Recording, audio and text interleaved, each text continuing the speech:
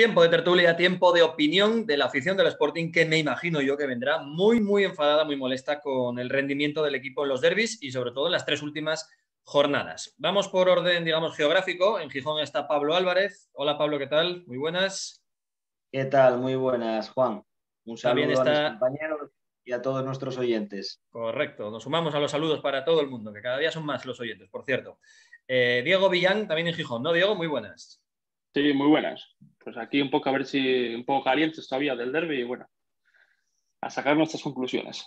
Vamos a ver qué conclusiones podemos sacar. Pero saludamos también antes, más lejos, fuera de España, en Oporto, creo que está Javier Mortera. Javier, ¿qué tal? Buenas noches. ¿Qué tal, Juan, compañero? Sí, desde, desde Oporto eh, hoy y, también digiriendo realmente los días post-derby y, un nuevo varapalo ¿no? ante el eterno rival que, que bueno, no, no, es un partido cualquiera y siempre duele un poco más. Mm. Duele, duele mucho. A ver, ¿por dónde queréis empezar? Venga, Pablo, por ti mismo. ¿Cómo contamos, cómo explicamos, cómo analizamos que nos pase siempre lo mismo con el Oviedo, que el equipo haya jugado otra vez tan mal contra ellos y ahora contra ellos y contra todos, que llevamos tres partidos de, de AUPA? ¿Cómo lo analizas? Sí, bueno, a ver, ya sabemos que los derbis son partidos singulares eh, y que la trayectoria de los equipos hasta, hasta, el, hasta el partido eh, no cuenta mucho porque ha habido temporadas en las que, bueno, pues uno de los dos equipos, no me refiero solamente al derby asturiano, a nosotros, mm. ¿eh? sino hablo en general de los derbis. Uno puede llegar en muy buen momento y llevarse la victoria el, que parece desahuciado. Lo que pasa que yo en este derby eh, mm, creo que la consecuencia de la derrota es un fiel reflejo de lo que viene siendo el Sporting en las últimas eh, jornadas. No se puede extrapolar el resultado de la marcha del equipo. No es un accidente aislado. A mí no me sorprendió tanto la derrota, me, escoció como, como al primero, porque a todos nos jode perder contra, contra el Oviedo, sea como sea, pero creo que tenemos que hacer una, una lectura y un análisis más, más profundos, no quedarnos solamente con, con el resultado eh, frente al Oviedo y mm, nos engañaríamos a nosotros mismos si nos lamentáramos por la mala suerte, por eh, la suerte del Oviedo, eh, por el empedrado o por una gaviota que volaba en el molinón y se puso a cagar a Jurjevic justo cuando remataba a gol. Oye, que no llegó ni a rematar a gol. No hubo esa opción de que ni la gaviota lo evitara. Es que la gaviota era muy grande, amigo. Entonces, pues bueno, mm, creo que mm, la tertulia deberíamos enfocarla eh, por ahí. ¿Qué le pasa al Sporting? ¿Qué ha cambiado? Porque, bueno, veníamos eh, ensalzando mm, la buena marcha del equipo, esa, actitud que tenían los jugadores en, el campo, la competitividad que estaban demostrando, pero de repente la magia, el duende ha desaparecido. Y ahora, pues. Momento, eh, además sí, estamos metidos en una, en una crisis de, juego y de resultados que empieza a ser preocupante, porque o espabilamos o si no, eh, me parece a mí que se nos va a quedar cara de quedarnos otra vez fuera de la promoción. Ahora hablaremos de la gasolina que le queda al equipo, las cuentas, los números, pero primero eh, Diego, tu análisis, eh, no solamente, como bien decía Pablo, no es perder con el Oviedo, no es un hecho aislado, es que se repite siempre perder contra el Oviedo, vale, pero es que el problema es que venimos con la dinámica de tres derrotas consecutivas, que no habíamos perdido dos en todo el año y van tres, de momento van tres. Sí, a ver, yo ahora le voy a llevar un poco la contraria a Pablo. Yo, para mí el equipo en la segunda parte mereció mucho más. Eh, sí que es verdad que no llegamos a portería, pero para mí lo más justo del partido ha sido un empate, que lo vio tampoco es que haya hecho mucho. Metió el gol, un fallo de la defensa, que últimamente no sé qué le pasa a la defensa, y a Mariño, que sale a uvas. Y de Mariño, exacto. Sale a uvas ahí, no se sabe qué, gol meten, y, de ahí el Oviedo se encerró atrás y no hizo nada. Sí que es verdad que nosotros, como bien hablé con Pablo estos días, no puedes ganar un partido jugando en medio campo todo el rato. Entonces, si no tiras a portería ni balones a los, a los delanteros, pues no se puede ganar. Y luego también yo creo que afectó mucho al equipo también a la lesión de Campuzano tan pronto. Quizá cambió un poco los planes también del entrenador, pero bueno, Pablo por Campuzano, más o menos hombre por hombre, juegan de otra manera, pero es que tampoco llegaron balones arriba. Es decir, como si hubiera estado Pelé, no llegamos tampoco a generar. no recuerdo yo. Creo que la ocasión más, la ocasión más clara del Sporting fue aquella que tiró Aitor que sacó arriba bajo los palos. Sí, un centro chut que se fue, uno de Manu mm. bastante centrado y el principio de una jugada de Yuca que echa un balón atrás, pero, pero poco más. A ver, análisis de Javier Mortera, que sé que estás también muy enfadado ahí en Portugal. A ver, yo voy a repetir lo que creo que, dije ya en algún otro derby y, que creo que para mí, eh, desde, que, desde el punto de vista en que no salimos, igual que lo Oviedo, a jugar los derbis, salimos ya con una posición de, un menos dos con respecto a ellos en, nivel seguramente de intensidad, de motivación y de exigencia por parte de los aficionados. Yo lo, llevo viendo esto desde, desde hace muchos derbis, creo que el Oviedo compite mucho mejor por esa extra motivación en la que salen todo este tipo de partidos. Y aunque ahora aislemos la trayectoria del equipo hasta hace tres partidos o analicemos solo el partido del derby o incluso los tres que llevamos con derrotas, para mí hay un punto importantísimo que es que eh, el Sporting, por lo que sea, pensamos que tenemos una sensación de superioridad en estos, eh, en general contra el Oviedo y no salimos a, disputar derbis. O sea, el Oviedo sí, el Oviedo sabe jugar estos partidos, sabe ganarlos como lo lleva haciendo últimamente y nosotros no tenemos, no tenemos ese punch, para mí no tenemos esa intensidad. Otra situación es que evidentemente el equipo ahora sí que entra en un bache barra crisis que puede ser eh, importante y vamos a ver en qué situación nos deja y, es verdad que, el partido del Oviedo fue un reflejo de, de esas últimas tres derrotas. Eh, pero volviendo al tema de la intensidad, de la motivación, de competir en un derby, yo voy a dar un dato que lo apuntaba eh, un compañero periodista hace, hace unos días, que creo que el Sporting en la primera parte, la primera falta la hace en el minuto 39.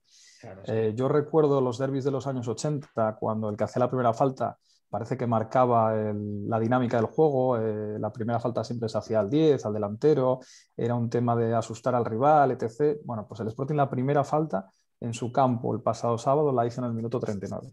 Para mí ese es un dato de, por qué perdemos muchos balones divididos, por qué el Oviedo se los lleva, por qué nos mete ese gol en el minuto 5, por esa indecisión en la salida, por ese fallo de Saúl y por no poder remontar un resultado contra un Oviedo que tampoco demostró nada, como bien decía Diego en la segunda parte. Es eso? Nosotros tuvimos más empaque, pero no fuimos capaces de remontar en 85 minutos ese resultado.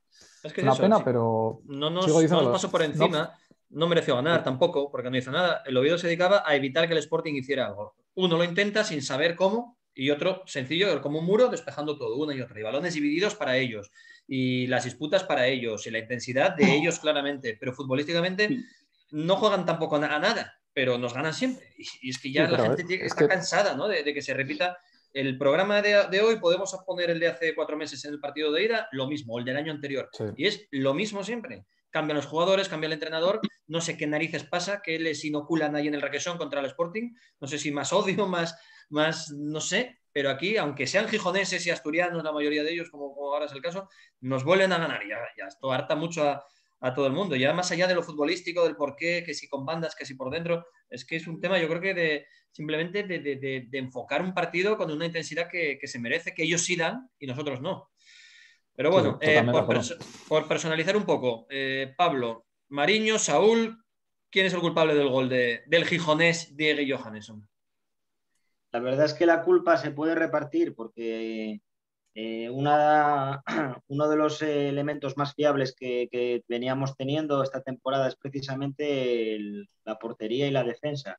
Pero Mariño lleva ya varios partidos muy inseguro y la defensa pues también está empezando a alternar buenas actuaciones con, errores eh, clamorosos. Claro, cuando no eres resolutivo en las áreas, en una competición como, como la segunda división, pues entonces pasa lo que pasa. Si cometes estupideces en tu área y luego no eres capaz de meter un gol, un gol ni al arco iris, pues entonces entras en la dinámica en la que está metido el Sporting ahora. Retomando el tema de la rivalidad con el Oviedo, estoy de acuerdo con, con lo que decía Javier. Es cierto que el Oviedo siempre le pone a estos partidos un plus de intensidad que no le ponemos nosotros. Nos ganaron con bien poco, pero también nos planteó el Tenerife un partido prácticamente gemelo al Oviedo y nos ganó de la misma manera. Entonces, ese, otro fútbol que yo muchas veces comenté en esta tertulia, es una de las asignaturas, pendientes que tiene, el Sporting, ¿no? Eh, bueno, pues el, marcar territorio, pues haciendo esa falta psicológica eh, a la que aludía Javier, el saberme controlar mejor las pausas, los tiempos. Somos un equipo muy inexperto en, muchas, en muchas lides y el Oviedo, pues eh, la lección, pues sí la tiene mejor aprendida. Yo tampoco me explico por qué cambiando la plantilla tantísimo como la ha cambiado el Sporting en los últimos años y cambiando tanto de técnicos, no ha habido nadie, ningún entrenador ni los propios jugadores que hayan dado, hayan sabido dar un puñetazo en la mesa y decir, caray, es que tenemos que demostrar que somos el, primer equipo de Asturias.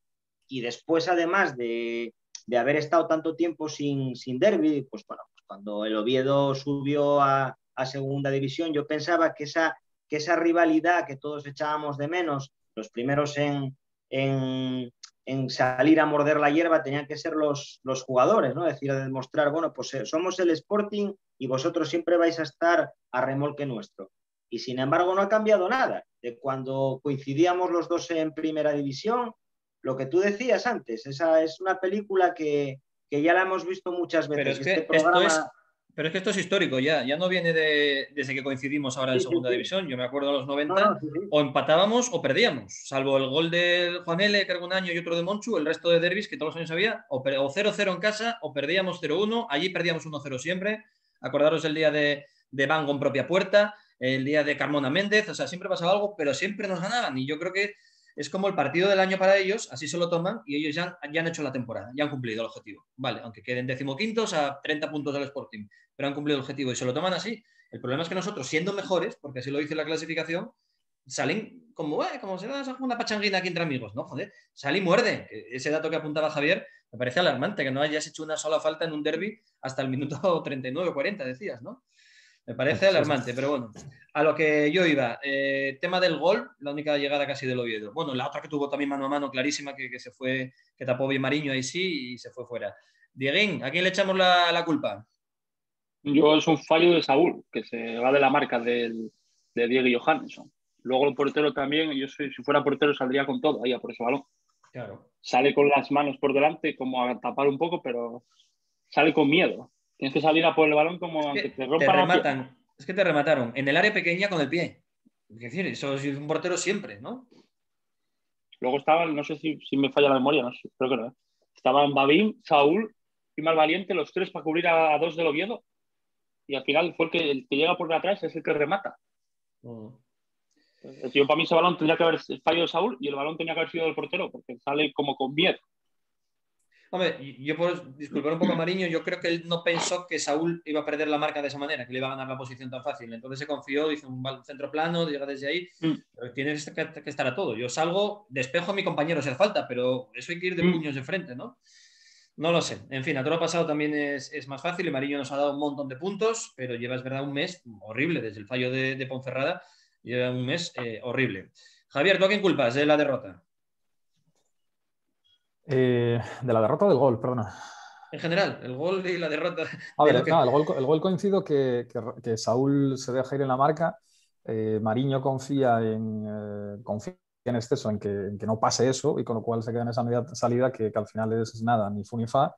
Y al final culpas repartidas entre los dos, mm, pero quizás efectivamente el, el, el, dejarse ir en la marca de Saúl es lo que propicia luego esa media salida en falsa de, de, nuestro portero. ¿no? Eh, de la derrota global, yo sigo diciendo lo que dije antes y por no repetir mucho, yo para mí es un tema de intensidad y de, competitividad en, en, este tipo concreto de partidos. Eh, no sé por qué, pero ya tengo el Oviedo en todos los balones divididos eh, ganaba esos balones, nosotros no los ganamos y yo creo que no eran ni, un tema, ni temas tácticos ni temas de, de, hombre por hombre, pero que es que en esas disputas perdíamos todos los balones. Cuando el equipo quiere proponer algo diferente, en la segunda parte quizás pudimos haber tenido alguna opción más, controlaste más el partido, pero bueno, estás ya en un nivel de bloqueo, seguramente de ansiedad de los propios futbolistas, bueno, con la responsabilidad del tipo de partido que es y ya no eres capaz de dar la vuelta a eso. Yo sigo pensando que estos partidos se plantean y, se planifican y se, eh, se, estudian de otra forma completamente diferente. Un derby es un derby, no es un partido cualquiera con el Tenerife. Y al final para mí eso es la clave de, llevarse el gato al agua en estos partidos o de cuanto menos, por lo menos competir y decir, oye, pues fue un 0-0, fue un mal partido, fue un partido trabado o te gana el Oviedo pues con un gol en los primeros cinco minutos y tú no eres capaz de hacer nada más. Asunto gasolina, lo que le queda al Sporting, siete jornadas por delante, son solo, a ver, solo, si lo decimos cuando empezó la liga, estaríamos ahora aplaudiendo con las orejas de estar quintos eh, con cuatro puntos más que el séptimo, pero bueno, venimos también de sacarle muchos más puntos. Hay que ir encima a jugar al campo del Girona, Montilivi. Eh, empiezo por ti, Javier. Mm, ¿Cómo lo ves? ¿Nos dará la gasolina? ¿Aguantaremos para entrar? Porque estamos viendo que los de ahí tampoco están para tirar cohetes nadie. Es decir, yo es llegar y luego a ver qué pasa, pero llegar, llegaremos, aguantarán. Ese partido de Girona yo creo que es el punto de inflexión. Es decir, si sales con un mal resultado contra un equipo como, como Girona, es rival directo y demás, vas a salir muy, muy dañado psicológicamente. Y ahora mismo la, inercia y lo que desprende el equipo, mm, las sensaciones no son positivas.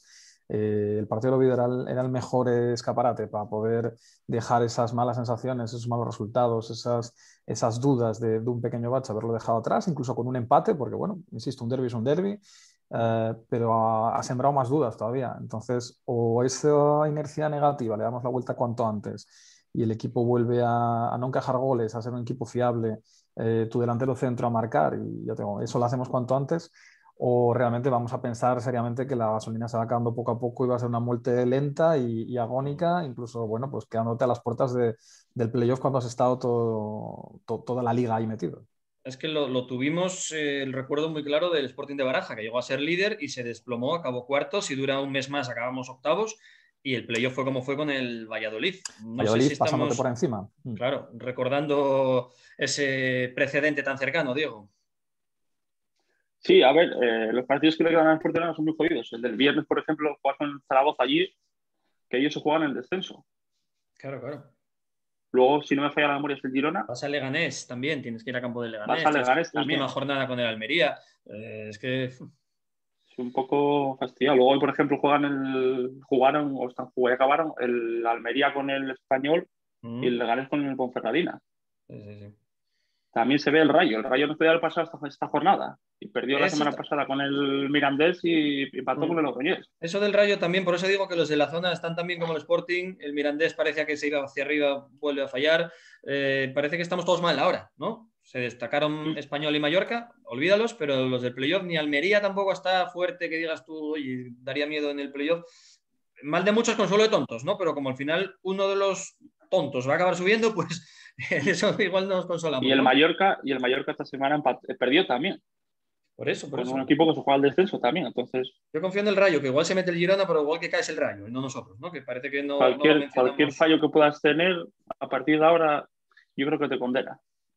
Mm, en todo caso, Pablo, ¿y tú? ¿Tú crees que aguanta la gasolina? ¿Quedan siete jornadas? Yo es que no sé si es un problema físico, psicológico o una mezcla de ambos. Lo que sí está claro es que el, colchón que teníamos eh, ha desaparecido y ahora hay que plantearse los partidos que, quedan como auténticas finales porque el margen de error es prácticamente nulo. Cinco puntos de 18 posibles en los últimos seis partidos está claro que no son números de un aspirante al, al playoff.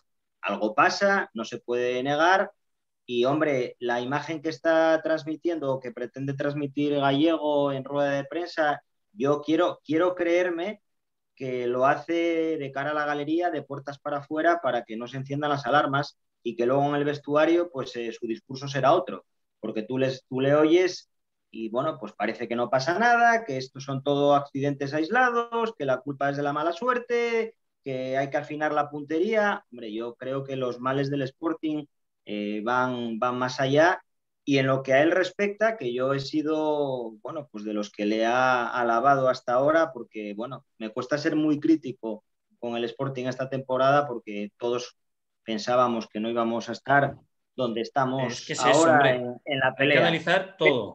Pero, pero, em, los árboles no, no deben impedirnos ver el bosque, ¿vale? De acuerdo. Ni los más optimistas se podían pensar que íbamos a estar ahí en la, en la lucha pero ya que lo estamos, ya que lo estamos, ahora hay que ser ambiciosos y claro, también el entrenador tiene que hacer bien su, trabajo. Em, yo sigo achacándole a Gallego que hace los, cambios tarde, mal y nunca, que la mayoría de las veces los cambios que realizan no son los que pide el equipo, como por ejemplo contra el Oviedo, que, claramente lo que necesitaba el Sporting era juego exterior y velocidad por, bandas, y que está demostrando, y mejoró va a tener que decirlo, ser un entrenador que no sabe leer bien los partidos y no sabe darle la vuelta al, partido cuando se pone puesta arriba. Hay un plan A, él apuesta por su, por su esquema eh, y su filosofía, pero no hay un plan B. No lo está demostrando. Y eso mm. es bastante preocupante. Sí, parece que los galleguistas ya os vais cayendo un poco, ¿no? Llegan las derrotas y ya llego, ya no hay tan Dios como, como era antes. No, es las derrotas, eh, Juan, puedes. no, pero, yo entiendo que perder con Oviedo escuece mucho. Estamos todos cabreados, estamos todos enfadados. Es la manera, es la, encima son, las sensaciones, perdona, son las sensaciones que empieza a transmitir el equipo. Mm, sí, sí, sí, es eso, que hacía buenos partidos, alguno malo en medios, pero más o menos jugaba siempre parecido. Era un equipo rocoso, difícil de ganar. Ahora estamos viendo el último mes que no, desde que nos remontó la Ponferradina allí, parece que cambiaron el chip. Ahora es un equipo miedoso, que quiere jugar todo por dentro, demasiado toque de balón para nada. Eh, no es un equipo vertical como era al principio de temporada, quizá también porque faltan los extremos, porque está queriendo jugar por dentro, pero no está dando con la tecla y desde luego con los cambios no está acertando. En todo caso, un comentario generalizado viendo el partido en el bar donde estaba, era, ¿y a quién sacas? Dices, ¿tú quién tienes el banquillo? Se lesionó Campuzano entre Pablo Pérez y luego, ¿qué te queda revulsivo? Kumic, Gaspar. Es decir, no tenemos a alguien que digas tú, tuvo que meter a Nacho Méndez, luego otras veces meta a Carmona, pero y que tampoco hay, cuando están de titulares, Yuca, Aitor y Manu, ya dices, ¿qué revulsivo arriba que te dé garantías, que te ilusione cuando entra faltando media hora? Tampoco tiene mucho donde, donde elegir. Igual estamos también ahora viendo la escasez de fondo de armario. Una plantilla compensada con gente de la casa, pero que no tenemos cuatro delanteros en plantilla o cinco como tenía Leganés, por ejemplo, ¿no? Todos de garantías y todos con trayectoria. Entonces, no sé, Javier, toda la, situación de Gallego, ¿cómo la, ves? ¿Le eximes un poco de lo, que está pasando? O, quizá habíamos pensado antes que era muy bueno y ahora tampoco es tan malo como, pensamos? Sino no, yo, creo, que, se está, que se está atascando en los últimos partidos en apostar por una idea fija, eh, como hablábamos ahora, el hecho de salir con dos delanteros centros pero jugar sin extremos, el hecho de, también coincido con, con, Pablo en que para mí los cambios llegan tardes, tarde y siempre son eh, no cambiando la, la, propuesta inicial, sino que prácticamente haciendo cambios de hombre por hombre con muy pocas alteraciones, con lo cual al final no hay ningún cambio directo en la forma de jugar que tú tienes y el rival ya lo conoce.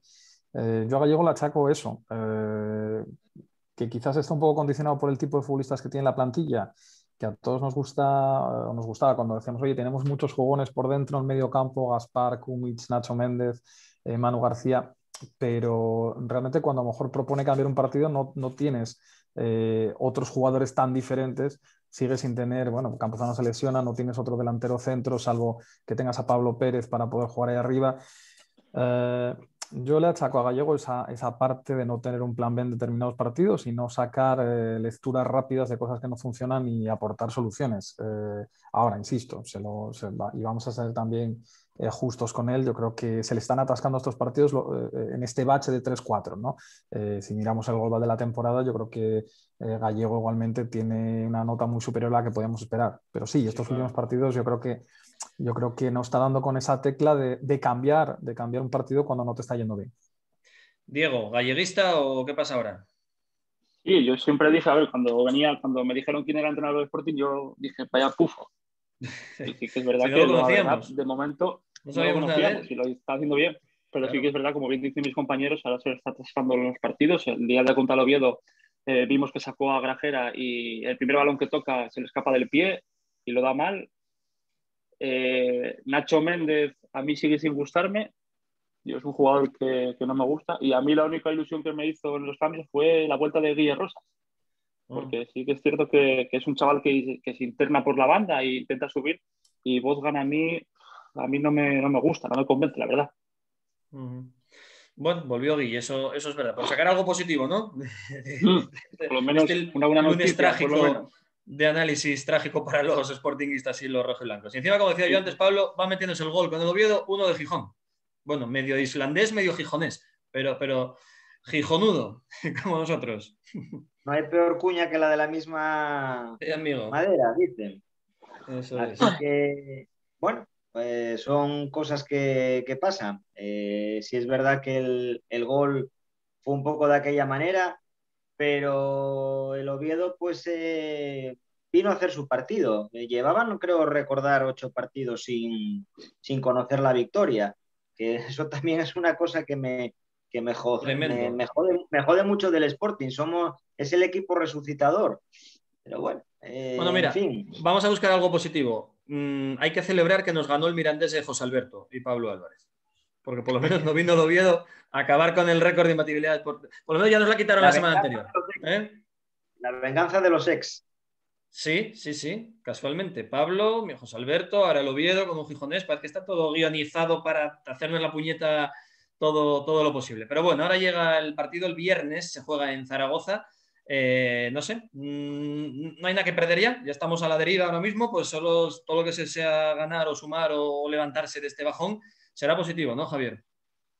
Sí, el, Zaragoza, rival peligrosísimo, se juega la vida, un histórico del fútbol español como puede ser tú, eh, pero bueno, con ellos con unas exigencias de puntos de salir de esa quema de la zona baja eh, con, una situación muy diferente a la tuya, pero por eso, para mí cualquier resultado positivo en Zaragoza puede ser un poco bueno, un cambio de inercia, un cambio de ciclo, salir de ese pequeño bache, eh, sobre todo si volvemos a ser fiables en defensa, mantenemos nuestra portería a cero. Eh, todo lo que sea, ya tengo, sacar un punto en Zaragoza puede ser revertir un poco estos últimos partidos. siendo sinceros, firmamos el empate, ¿no? Viendo cómo estamos últimamente. No, no, no, hay que firmarlo, pero yo, yo firmaría dejar nuestra portería a cero. Y vamos a ver si luego tenemos alguna opción. ¿eh? No, no hay que firmarlo. Yo creo que no hay que firmarlo, pero cualquier resultado positivo sería muy bueno ahora para, para hacerlos cambiar un poco eh, esa dinámica mental que Zaragoza, viniendo otra vez a la mente el año ese de Baraja, eh, creo que Zaragoza fue uno de los que nos ganó, que nos hizo salir del ascenso directo, como Tenerife también, como ahora. Es que se me repiten muchas cosas y me da pánico porque queda tiempo para acabar octavos todavía. Entonces, de aquella al menos jugaste el playoff y bueno, vale, te pasaron por encima, pero lo, llegaste y lo jugaste no subiste directo, pero bueno, es que ahora mm, sería penosísimo, ¿eh? sería una pena eh, todo el año ahí arriba y que justo la gasolina nos pasaría como a Carlos Sainz en aquella vez con el arranque lo Carlos, por Dios, pues igual, a 100 metros de la meta y quedar sin, se nos estropea el coche. ¿Tú firmas el empate, Diego? No, no, hay que salir a ganar en Zaragoza. Como bien decís, eh, quedar, estar toda la temporada en playoff y a última hora quedar fuera de playoff sería un fracaso para el equipo en general. Mm. Y bueno, firmar, como bien decía Javier, la portería cero es lo más importante. Que no nos meta gol a Alegría, que es un ex rojiblanco. Es que, es que está todo encaminado. Viene todo, está escrito. Va a ser Alex Alegría seguro, vamos, viendo las últimas semanas. Pero me conformo con un 1-0. Y Torrecilla en el palco celebrando con la bufanda del Zaragoza. Ya verás, ya verás tú. Otro ex, cuidado con eso. ¿Tú, Pablo, tú firmas o te da miedo como a mí todo ahora mismo? No, no, no, no firmo el empate. O sea, no, las sensaciones no son ni de lejos las, las mejores y la Romareda no es un equipo, no es un campo que al Sporting se le dé históricamente bien. El Zaragoza, como bien decís, está jugándose el todo por el todo. O sea, el escenario no puede ser peor. Todo pinta fatal. Pero bueno, confiemos en, en revertir la situación, eh, porque es que si no, ya, como dije antes, el colchón que teníamos ya, ya desapareció. Y bueno, pues lo, creo que lo apuntaba Javier, eh, hay que volver a ser fuertes en nuestra área, volver a transmitir seguridad atrás y bueno, pues tratar de que alguna ocasión te pillen los, los de arriba, que a Yuca se le vuelva otra vez a, le vuelvan las musas y, a ver si conseguimos algo positivo, porque es que la verdad el calendario que, que se le avecina al Sporting es, es terrorífico. Pero claro, si quieres eh, lograr el objetivo, hay, que, lo, vemos hoy así. y hay que saber sufrir. Claro, lo vemos hoy así todo negro, todo malo, todo fatal, porque tres derrotas, el Oviedo y lo que quieras. Ganamos el viernes en Zaragoza y ya decimos, ya estamos en playoff, porque el Girona juega al día siguiente, estaremos ya a siete. Y diremos, bueno, pues en Montilivio, aunque se empatamos, es decir, esto, Gijón, somos todos o campeones del mundo o, o hundidos, ¿no? Lo que dijo en su día nuestro querido Manuel Preciado, ni antes éramos el Bayern, ni ahora somos tal. Pero es verdad que hoy es un día malo y hoy es un día para, eh, aunque ya fue el, sábado el partido, seguimos ahí. Yo creo que luego el miércoles o el jueves ya estaremos, bueno, a ver, el viernes llega el partido ya otra vez, pero a día de hoy tienen que entender los oyentes que estemos así tan pesimistas con, el equipo, con la trayectoria y la, dinámica, sobre todo después de perder contra el Oviedo. Pero bueno, ver veremos, insisto. Mañana ya es martes, seguro que sale el sol también y vamos a, a ver qué pasa el viernes en Zaragoza y si como mínimo el Sporting juega el playoff, que esperemos que, que lo acabe jugando. Javier Mortera, de Soporto, ¿alguna cosa más que se nos haya quedado en el tintero que quieras apuntar? Nada más por mi parte, que esperemos que cambiemos pronto esa dinámica y, que sin duda hay que meterse en playoffs. No podemos desaprovechar todo lo bueno que se hizo durante este año y, precisamente que saber dar la vuelta cuando tienes un ciclo malo como, como, el que estamos pasando ahora. ¿no? Pues sí, que vaya bien todo por Oporto, con una hora menos que tenéis por ahí. Un abrazo fuerte, gracias. Un abrazo. Diego Villan, ¿alguna cosa más que quieras destacar de, de lo trágico, del, del de la tragicomedia del sábado? nada, pensar ya en Zaragoza, hacer caso a lo que dijo Pablo, firmar la victoria, que la última vez que dijo que firmaba algo fue un empate contra el español y llegamos ganando. Bueno, anda. Y esperemos que, sea verdad y esta vez ganemos y nada, a ver si nos quedamos en playoff. A ver si aguantamos. Un abrazo, Diego, gracias. Otro igualmente. Y a Pablo Álvarez, eh, siempre digo, no el futbolista, el futbolista, sino el jurista tertuliano, que tenemos aquí muchos lunes en la hora roja y blanca. Lo mismo, ¿alguna cosilla más que se nos haya quedado? Pues que el viernes tiene que ser el principio de la remontada y el comienzo de una nueva era. así, tan, pues tan, poético te lo digo. Oye, con que la era se repita lo de antes de tres partidos para acá, nos vale también, que íbamos muy bien. Estamos muy contentos ahí arriba después de ganar el Mallorca el Rayo y todo esto. Claro, por lo menos como tú apuntaste antes, que, nos alcance para jugar el playoff. Luego, mira, que sea lo que tenga que ser, pero tanto remar, tanto remar, no nos podemos quedar eh, hundir el, bar, el barco en la orilla. A ver si por lo menos llegamos con, opciones y luego, pues mira, a jugárnosla en, en la eliminatoria. Muy bien, Pablo, un abrazo fuerte para ti también. Gracias a los tres, tertulia de la afición, cada lunes aquí en los minutos más sportinguistas, a pesar de perder con el Oviedo de la radio.